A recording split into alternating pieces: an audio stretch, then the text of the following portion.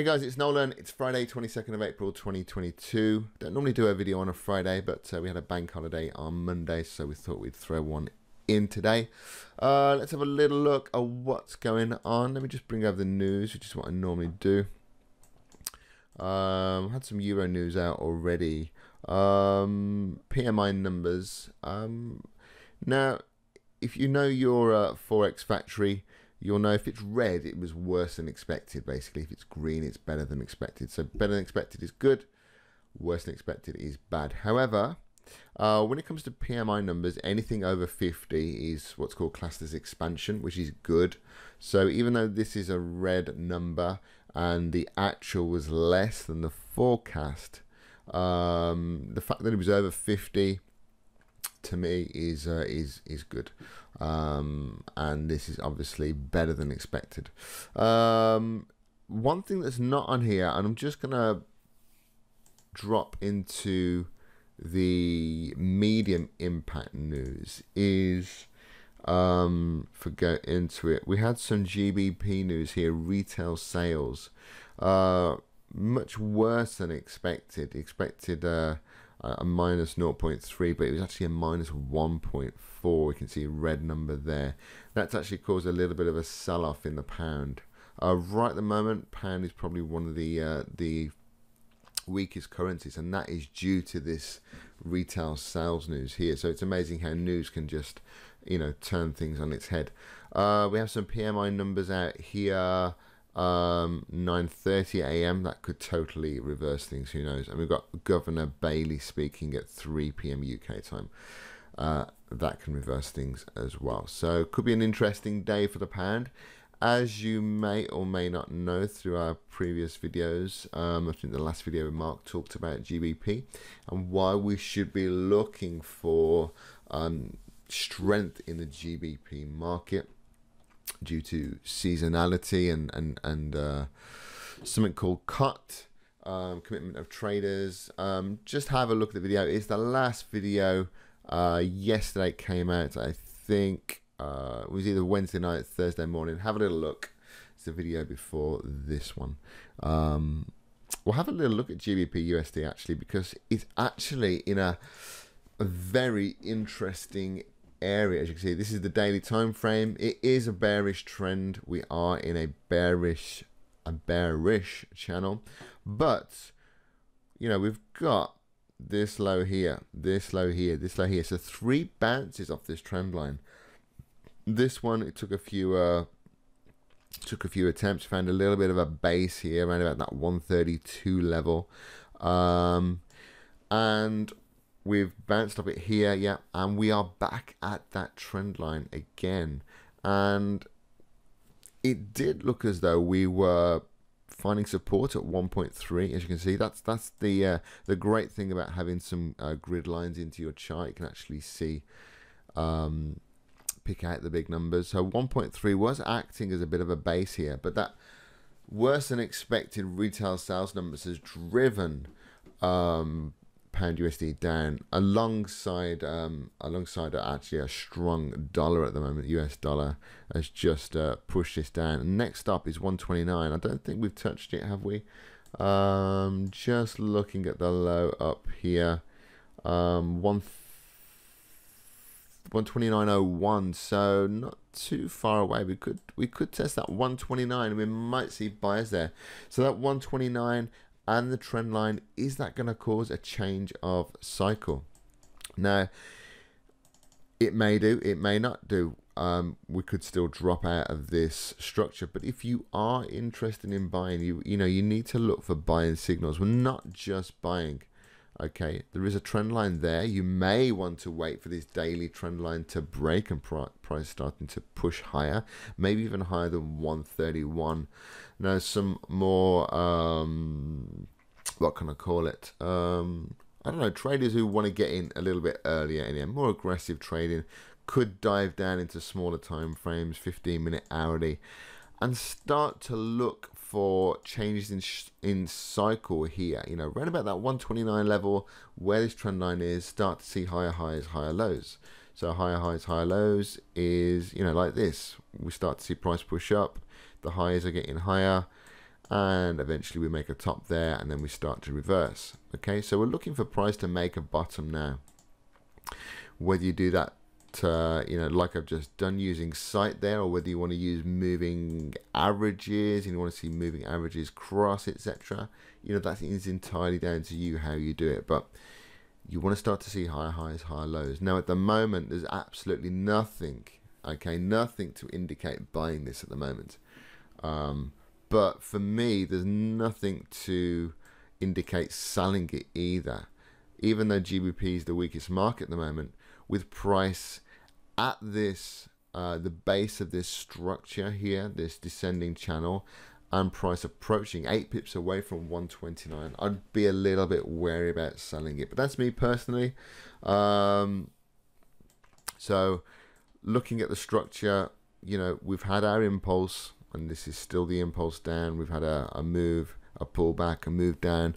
I would be looking for the, the correction within the descending channel. So the correction is like here, here, here, here. All corrections, movement against the dominant trend, if you like. The dominant trend is to the downside. I'd be looking for that correction back towards, well, ideally 134 we've talked about, maybe even this swing low here, towards the top of the channel anyway. So we'll see if that happens. like I say, there's a little bit more news coming out this morning. Got Governor Bailey speaking later as well, which could totally uh, change things around. So just keep your eye on it. Very, very interesting area. Um, those of you who watched my last video, um, a couple of charts I talked about were Aussie USD and Kiwi USD. Now at the time, Aussie USD was bouncing off this trend line here. Um, and it looked like it was going to go long. Even though these moving averages, it was a bit of a quandary for me. These moving averages had turned bearish on the daily, but we've got price bouncing off a daily trend line. So there's a bit of indecision there about what was going on. So I looked at this chart and I looked at the Kiwi dollar chart. And this one was different because this chart had broken the trend line. Okay, so I, I said, okay, you know, I'm more in favor of trading Kiwi dollar uh, short because Aussie USD undecided. Is it bouncing off the trend line for long or are we pulling back into the moving averages and going short? You know, it was a bit of a, bit of a 50-50 situation. So, um, well done, guys. If you took note of what I said, and that was you know looking for the the Kiwi shorts. We had the break below the trend line, lovely pullback, daily pullback into the moving averages, then boom, sold off. Okay, so if you were watching this chart, um, even if you sold underneath this low, you know you're in profit, you made some money. There was, um, I think, there was a couple of uh, opportunities on the smaller time frames as well. Um, whether it was on this four hour or hourly chart, certainly on the four hour. I mean, I love four hour charts because literally um, I'm all in favor of um, not spending too much time, if you like, in front of the charts and just being smart. So four hour time frames are absolutely brilliant because literally you know you don't have to look at the charts that many times you, you can have your watch list you know what you're looking for does it meet your rules? And I know so on H4 here, there was, uh, this is a, a 50 moving average, exponential moving average, I should say, 20 exponential moving average, and an 8. You can see this lovely, um, well, there was an evening star pattern here. Now, if you would have taken that sell stop underneath the low, stop above the high, you would have got triggered in and you would have got taken out. Okay, so that would be a minus one, if you like, 1%. But then you've got this bearish engulfing candle. So if you'd have sold underneath that, stop above the high, you would have got triggered in, made your money back. Now, if you'd have missed anything there, you've got an evening star pattern here, bouncing off that 20 moving average. Sell stop below that low, you would have got triggered in, made your money. And we've had this deeper pullback now. Moving averages, I got a little bit mixed up in the wrong order there, so that's a kind of a no trading zone for me. Moving averages have to be in the correct order. Now they're in the correct order again. Okay, so there is a there is a horizontal level here, a bit of support. We could see price retest this level and reject. Me personally, I like to see 20 moving average bounces, but uh, 20 moving average, you know, reactions pull back into the 20 in a downtrend and price start to sell off again. So we'll see what happens. But like I say, there is a level, there is a base around about 67 200 where price found support here. We could come back in and uh, reject there. But um, yeah, well done if you caught that, guys. Um, something else I talked about was WTI. Um, and I, it was actually the subject of the video, if I remember rightly. I was looking for price to come and test 100 and then potentially extended targets of 96. Now that is um, not happened, but it's only been a couple of days since the video. But there was a lovely trade on WTI if you were taking notice. Um, I did actually take this myself. Um, let me just show you exactly uh, what happened. Let me just use the replay button. So if you remember from the last video, and if you didn't see it, just go and take a look at the last video. We had this um, bearish flag formation here on the hourly, and I think I said either, you know, well, I said basically set an, set an alert for the break of the CTL. Um, I might have even said below this wick candle here. Uh, what I did was I was a little bit um, aggressive, placed a short underneath this wick low here. Uh, stop above the high.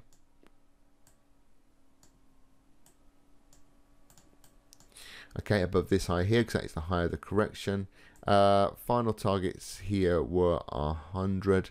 Um, but me personally, whenever a trade is one to one up, I always bank some money. In fact, I always bank half.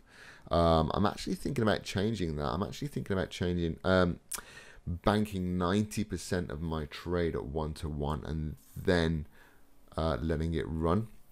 But that's just something I'm thinking about at the moment. If I start to do that, I'll let you know, guys, and uh, I'll, I'll, let you know how that goes. But um, certainly at one to one, I bank some money. Anyway, that was the trade 100. Um, it was just a resting trade. Uh, I'll show you what happened. So, another bounce off the trend line Okay, looks like it's going up. Boom. And then you get triggered in, and then price closes. It doesn't close outside the CTL, it actually closes back above. So that was a bit okay. Looks like a false break here, um, and potentially could, could come back, break this high, and then have another move down. But we then do that, boom. So one to one up.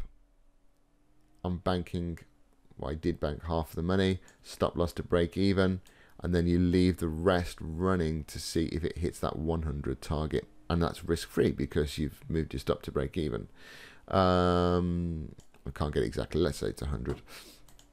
Um, pushes down a little bit more into 100.5, and then boom, takes me out for break even. So again, you know, we had Kiwi USD, we had oil. If you were watching the charts, there were definitely opportunities to make money on both of those. Now, this didn't hit the 100, which is a bit of a shame, uh, but you were still able to make money out of it if you were um, if you were watching the chart. So at the moment, it's looking a little bit well. It's not looking brilliant, um, and this for me is just it's just a bit of a mess at the moment. Where this was easily identifiable as a, a flag or a correction pattern and expecting it to drop. This here, it looks, um, it's not the best price action in the world, so I'm actually staying away from this now. Um, how is the Nasdaq doing? Because we've actually got, um, like I said, pound is one of the weakest markets this morning. Aussie and Kiwi are actually selling off as well, as you've seen. So it's a bit of a, a risk off uh, situation at the moment. We're actually seeing strength, I believe, in the Japanese yen. Uh, in the Japanese yen, yep. So let's just have a little look. Yeah, believe it or not, I mean the yen pairs have been soaring high with yen weakness, but today we're seeing yen strength in the market. Strength, which is driving all of these pairs down on the day, as you can see. So we are in a risk-off situation where the risk currencies, Aussie, Kiwi, and CAD are selling off, but more Aussie and Kiwi. And we're seeing money uh, being uh, transferred into the Japanese yen at the moment. So I'll have a little look at the yen pairs, uh, see if anything, um, see if anything um, looks good. Let me just have a little quick look at dollar yen. Dollar yen four hour moving averages are still bullish here. Uh, I can see this what looks like a could be a hammer candle being formed, but if you just look at the hourly for a second, we could be retesting this broken CTL here. So we've we've obviously found a top here, triple top. This could be your neckline, break, retest. We could see downside on this. So keep your eyes on this with that risk off situation the way it is. We could see price start to reverse here and push down. Obviously, if it starts to push back up, then there's no sell trade you know, we are looking and waiting for price to basically start to do what we think it's going to do. So I think it could start to reverse here. But if this is a false break, then obviously we could come back and retest uh, 128.63. So I'm going to keep my eyes on that. Um, anything else with that risk off situation? We saw the NASDAQ have uh, a drop yesterday. Now, this is another chart which I talked about in my last video. I told you to keep an eye on 14,000. Either actually a break of this level here, retest, go long, or look for price to come into 14,000 and buyers to come in and was hopefully expecting this to break to the upside. Now, price came into 14,000 and boom, buyers came in you could have made money there if you were looking at that at the smaller time frame. Didn't break above the uh, resistance though here. In fact, look at this bearish engulfing candle. Boom. This is when the risk uh, market changed to risk on to risk off. And surprisingly to me, we actually broke this low. We broke 14,000. We broke this low here, which was acting as support, and there was a potential inverse head and shoulders there. Um, we broke this low, and we formed a new low. Now, this is interesting because Aussie and Kiwi are very weak at the moment, but yet, looking at this technically after such a big move, we've had this four hour inside candle here, which potentially could be the start of a reversal. And we've broken the high of this candle. So this could actually be a little bit of a, it could be the start of a new move to the upside, or it could just be a correction of this move. But um, interesting. Um, I think to be safe, before you start buying the Nasdaq, it might be worth seeing price have a, a, solid close above this zone here, which is support because it could become resistance. But if we can see price start to push up, we could use that as another base, as an area to buy from because I am, uh, my bias is long on NASDAQ long term. Um, as you may have seen from my previous videos, you just got to look at the monthly chart. It's a bullish market. Okay, so uh, my preference is to to look for this, but again, you know, like like dollar yen, we've got to look at price action. We could equally find this as resistance and we could break further down. Okay, so support testing at the moment could become resistance, could break down. I would prefer it to break above, and this was a false break. I'd prefer it to break above, use this zone again as a support, and then look to buy. But we'll have to monitor, you know, I have to monitor what Aussie and Kiwi doing if that risk in the market starts to change from risk off to risk on. Um, but yeah, guys, um, I hope, I really hope you were able to take advantage of uh, some of my analysis in my previous video on Kiwi and on WTI. Keep your eyes on Pound USD. It's in a lovely position to go long. We just need to see those buyers come in. Please do not just jump into any buyers on Pound just because of, uh, or cable, just because of where it is at the moment. Um, right, that's it from me, guys. That's it from me and Mark this week. We will see you again next week. Um, please, please, please subscribe to our YouTube channel if you're not subscribed already. Like this video if you liked it. Share the video as well if you know any traders that could take advantage of our free analysis. Uh, we would really appreciate that. So, from myself, Mark, and the whole team, have a great weekend, and we will catch you again next week. See you later. Bye.